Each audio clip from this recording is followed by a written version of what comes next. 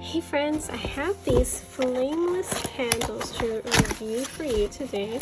They just arrived and they look super nice online. so I'm curious to see how they appear in person. And you know, the company is very generous to send these batteries because usually when they're battery operated, you have to come up with the batteries and get them yourself. So I'm going to insert these in to see what it would look like. All right, let's take a look at this one. And there are different colors. I was debating between getting the red one and I was like, well, you know, why will match everything from every season? And I just ended up getting the white. But see how this dangles, this wick dangles? I thought that was pretty cool.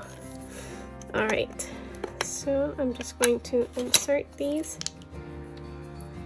so we could see what they look like once they are on.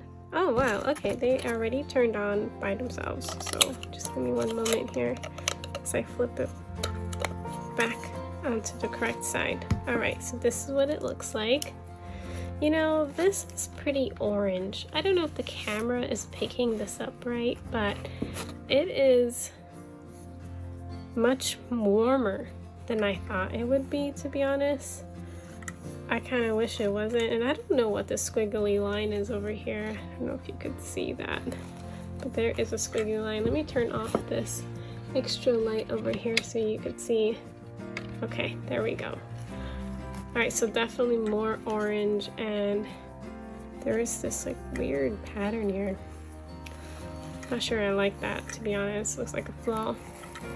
So this is what it looks like. It is pretty. I do like how the wicker imitates a real flame by moving by having just wind because it's so lightweight and it just goes on its own. Um, I would have preferred the flame to be less orange and more of a light yellow flame. But it does come in a pack of three and there were different colors. So I hope that this review was helpful and I will see you next time. Okay for now.